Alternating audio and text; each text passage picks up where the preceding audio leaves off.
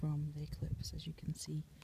It's still light daylight, but it's cold and it's it looks like just the full sun from here because I don't think the camera can really pick it up. But you can see it's getting darker and it's almost there. It's so weird. It's almost like nighttime, look at that. And the sun's still burning, but it's just about gone. And there it goes.